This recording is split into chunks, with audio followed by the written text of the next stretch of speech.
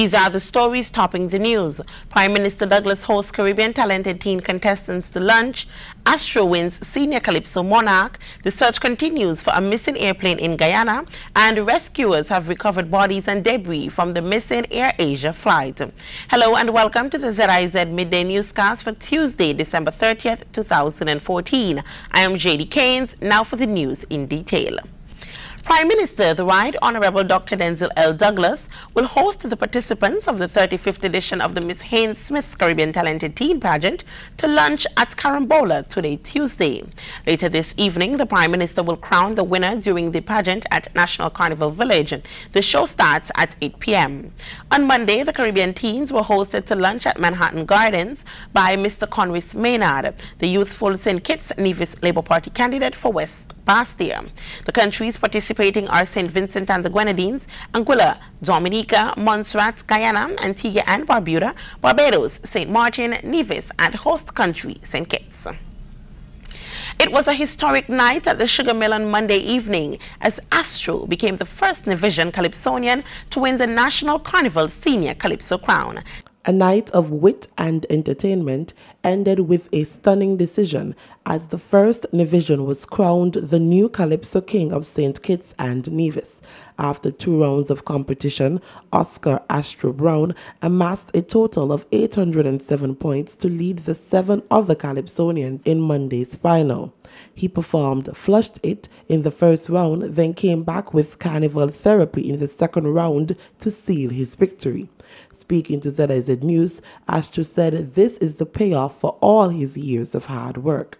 Feels great. It's been a long, hard year. It's been a long, hard, about eight years for me here in. Kitts. I've toiled and I've toiled, and this is the just, this is the payoff for all the hard work. I never thought about giving up. I always said I'll keep coming back and coming back. And tonight I felt really special. I, I, I don't know what to say, honestly. The first runner-up position went to Kimara Lady Diva Martin, who performed To Be Cancer-Free and Dear Fans. She said she delivered two of her strongest calypso performances ever in the finals. Well, my performance was my utmost best, so I'm very proud of myself and um, I couldn't give any more. That was my best. And I will be back next year hitting harder and vying for that crown. The newly crowned Calypso monarch said he will now go on and represent the Federation on the regional stage. Thanks to all the DJs and all the radio stations who play my music for this year. Thank you very much. I love you. Thanks to the Legends Band, the Legends family, my family and everybody, my fans, everybody who travel from Nevis with me. I'm going to represent my country of St. Kitts and Nevis in Anguilla and I'm going to prove to them that this wasn't a one-off thing. I'm going to do it in Anguilla. I'm going to do it in, and I'm going to mash them up in Culturama as well. The second and third runner-up positions were separated by a mere point, with veteran Calypsonian Socrates edging out Queenie G. Socrates performed his songs Holy Wars and Soccer Don't Have to Sing, while Queenie G sang Legacy and No Ordinary Being. Reporting for ZIZ News, I am Patrice Harris. In related news, Chairman of the Carnival Committee, Sylvester Anthony, said he is happy Astro was victorious. Uh, but he's one of the competitors. He's been a, a long, a long time um, competitor, um, and I think you know the judge's decision, as we've told all our artists, the judge's decision is final, and we ask all artists to respect the judge's decision. So I'm very happy for Astro, and I'm glad that he's he's been victorious tonight. Meanwhile, Anthony said he is excited that persons have responded positively to carnival events and looks forward to large crowds for the remaining activities. Um, we saw that developing during the tents. The crowd somehow seemed bigger. I thought perhaps it was because some of them were free events. Um, but you know, we had two semifinals, Soca, Soca Monarch semifinals, and we had huge crowds. And these last three events, the Soca Monarch finals, the um, National Carnival Queen Pageant, and tonight's show, the, the Senior Monarch uh, Calypso Monarch competition, the crowds have been huge. This is great news. This is great news for Carnival.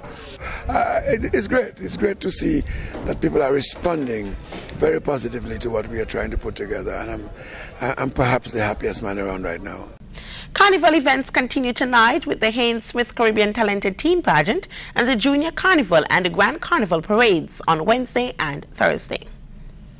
The Vance Amory-led Nevis Island Administration, NIA, refused the assistance of the federal government and the Sugar Industry Diversification Foundation, SIDF, in financing the geothermal project in Nevis. This was disclosed by, Prime, by Prime Minister, the Right Honorable Dr. Denzil L. Douglas, who said he raised the issue shortly after Premier Amory's Concerned Citizens Movement won the Nevis Island Administration elections in 2012. During his recent weekly radio program, Asked the Prime Minister, Dr. Douglas noted that they had reached the point where they had the financial arrangement made. He said he was certain that by now the geothermal plant would be functional and we would be having electricity much more cheaply produced. But the Premier Amory told him that they have their own financing arrangement. He added that the project has gone nowhere because, quote, some people believe that keeping out the federal government is the best approach, end quote. Regionally, search and rescue teams continue to come up empty in their hunt for an aircraft that went missing just after takeoff on Sunday from Mahdia. More in this report. The Air Services Limited aircraft was piloted by 26-year-old Nicholas Prasad and also had on board a cargo handler, 51-year-old David Bisnot. Sunday's search for the aircraft yielded no results, and up to news time today, nothing had changed. An aerial search resumed just after 7 a.m. today, the Civil Aviation Authority reported. Two helicopters and a Cessna Caravan are in the search area with the Guyana Defence Force Special Forces. Another Cessna 206 departed Timehri at around 8.30 a.m. with coordinators and investigators from the Civil Aviation Authority carrying additional equipment and supplies. Around noon Sunday, the Timehri Air Traffic Control lost communication with the Air Services Limited Britten-Norman Islander that was operating between Mahdia and Karasparu in Region 8. Captain Prasad and the handler were on board the twin-engine aircraft which took off from Mahdia airstrip at 11.42 on a routine local cargo flight. The aircraft was scheduled to arrive at Karasparu 17 minutes later, but it never did, and so the search and rescue team was put into operation and remains in the location this evening. For Capital News, Neil Mark. In St. Lucia, caregivers at the National Institute to Create Employment, or NICE, are doing their part to ensure elderly residents have a joyous and comfortable Christmas season. The workers visited the elderly and shut in this week, spreading cheer and delivering gifts and food hampers. NICE workers, we would like to present you with that little token. Thank you. Merry Christmas. Merry Christmas. Nice caregivers make life a bit easier for the elderly all year long, but Christmas is a special time, and for Christmas 2014, the workers ensured they brought some treats and gifts for the elderly in the South. Nice teams, joined by coordinator Perry Thomas, visited the residents, bearing smiles and gifts. They went from house to house, bringing joy to the hearts of many of the elderly. Muito satisfait, muito bien content. Oh yes, kay tuete muy bien. Kay ifon ba ki mweme mweme Noël ek depuis mon ba mon sete bagay. Moi ka senti ko moi. Bon, moi satisfait. Moi content de The fact is, sometimes the elderly among us are lonely, and sometimes at Christmas they feel even more removed from society. Angelina Flavius was brought to tears by the gifts and the simple fact that a group of people thought of her and remembered her at Christmas. Je satisfait tout ça yo ka fait pour moi. Moi bien content. M'a désaffaire. Moi content ça yo tout a fait pour moi. Tout ça qui vient ici qui passe qu'a fait pour moi. Qu'a fait pour bagaille pour moi. NICE coordinator Perry Thomas says he's pleased to be part of this initiative, which goes to the heart of the Caregivers program. Its warmth, selflessness, and devotion. As we have always said before, the caregivers go beyond beyond above and beyond the duties. And to, and and today what we what they are doing here today is a pro- proves that. All the hampers that they put together came from their own personal resources. And as a program in as much as we are restricted by budgets, and so we are thankful that we have persons who have the interests of the the elderly at heart, that they have taken on their own to actually do what they are doing today. Every person that have received a gift has shown in, in themselves a, a, an appreciation for what the young ladies have done. And today we came down and be part of this um, exercise, and we are very thankful for that. The NICE team also visited the sick and bedridden. Thomas says he's proud of the home caregivers and their continued commitment to the sick and the elderly. Alison Kentish, HTS News Force. Internationally, Indonesian officials have confirmed that bodies and debris found in the Java Sea off Borneo are from AirAsia flight QZ8501 that went missing on Sunday, a statement by AirAsia says. AirAsia CEO Tony Fernandes said he was devastated by the news. President Joko Widodo told media he had instructed all search teams to focus on finding the passengers and crew. Suspended from a helicopter, a rescuer prepares to recover a body spotted in the water. It's believed to be one of the passengers from the AirAsia flight. As well as several bodies, debris has been found, including what's thought to be one of the aircraft doors. And a search plane has spotted a shadow on the seabed, suggesting the crashed jet has now been located. At a press conference this morning, the coordinator of the search said he was 95% sure the objects found in the water belong to the plane. Another search team is to be deployed to the area. A team of divers is being put on standby.